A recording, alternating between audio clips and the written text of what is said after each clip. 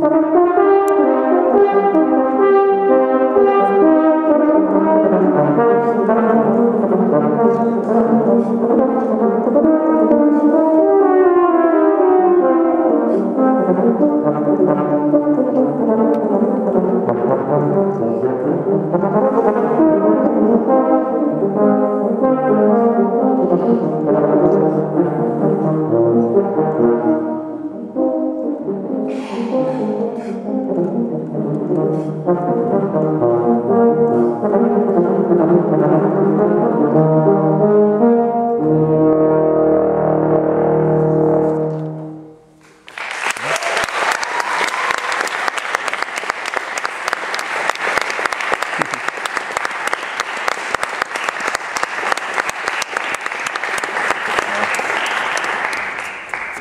Thank you very much. So um, that was a, a duet there. Actually, we played the same solo part, but a bar or a measure after each other.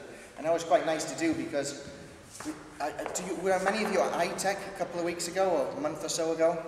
Yeah.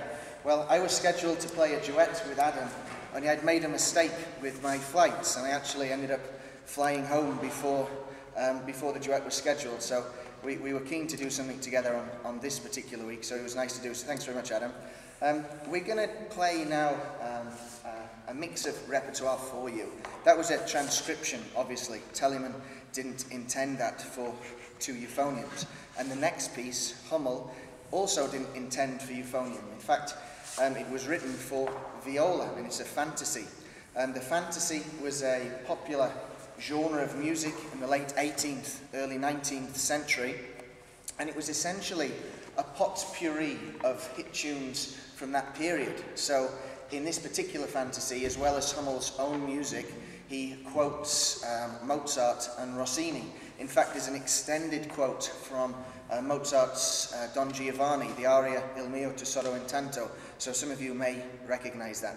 But um, it's a wonderful piece. It starts um, lyrically and finishes quite virtuosic. Um, and to perform it with me, please welcome Carol Conger.